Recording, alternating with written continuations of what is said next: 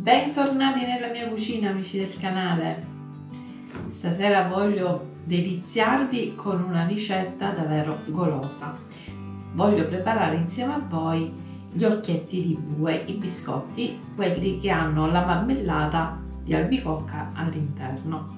Quindi per fare questi biscotti ci occorreranno 350 g di farina 00, 120 g di zucchero a velo, 50 g di maizena, naturalmente la nostra marmellata di albicocche, quella, ideali, eh, quella ideale per, uh, per pasticceria che non contiene la frutta a pezzettoni, un pizzico di sale, due uova, la vanillina e 200 g di burro freddo.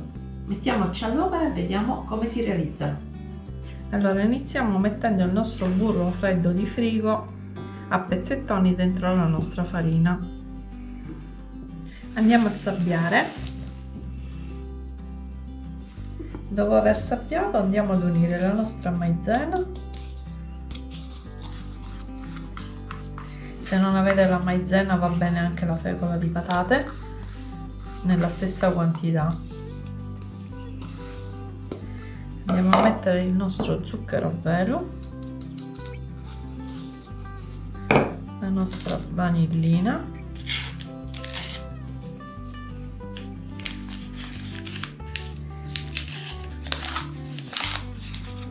andiamo a dare una bella mescolata. Andiamo ad aggiungere adesso un pizzico di sale. Così. E andiamo ad aggiungere le nostre uova uno alla volta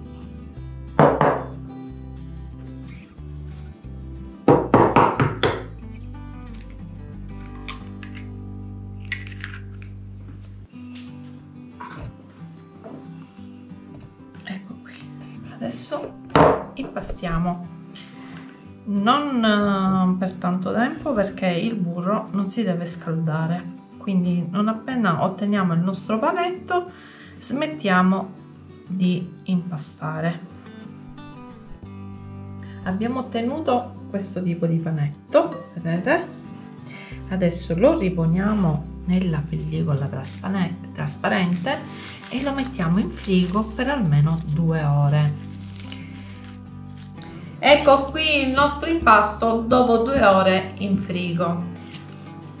Certo è bello ghiacciato, quindi è un po', si è un po' indurito. Quindi adesso cerchiamo di stenderlo tra due fogli di carta da forno cercando di dare lo spessore giusto ai nostri biscotti magari facciamo mezzo panetto per volta ecco qui che ho tagliato un pezzo di, di, di impasto ho preso un pezzo di, di, impasto dal totale. Siccome è freddo cerco di allargarlo piano piano tra due, tra due fogli di carta da forno. Mi aiuto con il mattarello allora dopo aver spianato un po' il nostro impasto andiamo a fare le forme. Io prendo questo bicchiere la, la circonferenza perché non mi trovo un coppa pasta di una grandezza media e vado a fare la mia forma per il fondo del, del biscotto diciamo la parte di sotto. E li vado a mettere nella mia teglia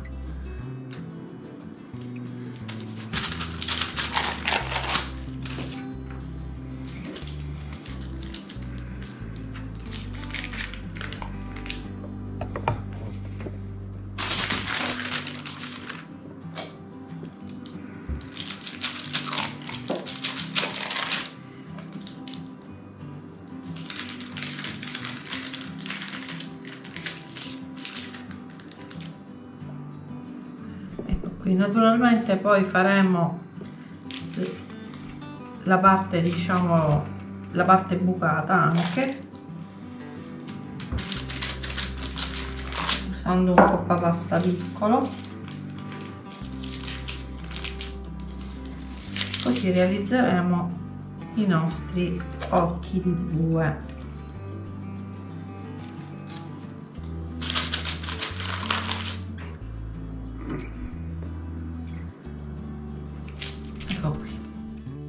adesso andremo a, realizzare i dischetti col buco al centro.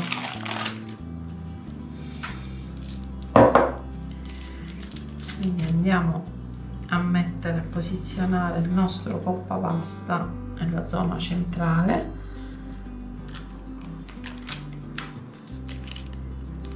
E andiamo a realizzare mm, questo, questo cerchio bucato che poi andrà a ricoprire i nostri biscotti. Adesso li faremo tutti e poi vi farò vedere il risultato.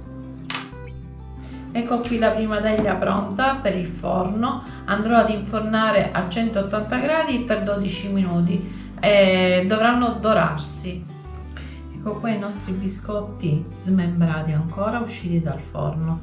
Adesso andremo a mettere la parte con il buco su un foglio di carta forno perché andrà eh, spolverata con lo zucchero a velo. E invece sulla parte piena diciamo senza il buco andremo a sciogliere nel pentolino nella padellina un po' di marmellata di eh, albicocche e la eh, spalmeremo su questi biscotti e dopo verranno assemblati. Ci vediamo dopo.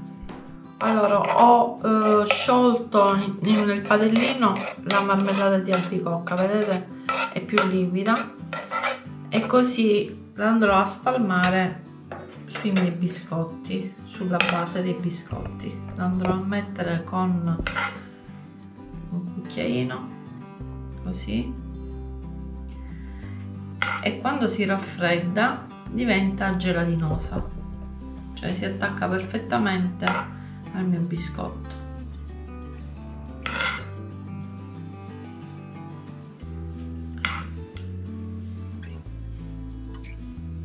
Una volta che abbiamo finito di spalmare la nostra marmellata andiamo a prendere la nostra base cioè la nostra, la nostra parte eh, col buco e la andiamo ad assemblare. Ecco qui vedete? La marmellata diventa lucida perché diventa gelatinosa e adesso li riponiamo tutti nel vassoio. Adesso li faremo tutti e poi vi faccio vedere.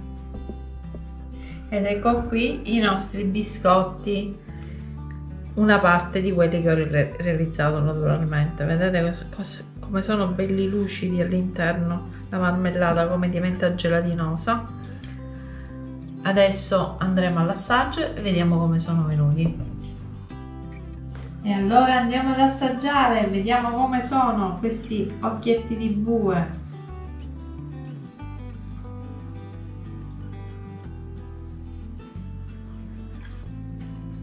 Una bontà.